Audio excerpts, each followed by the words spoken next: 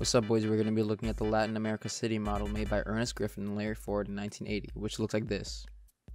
For our first zone, we're going to be dropping in Santa Fe, one of the biggest central business districts of Mexico City.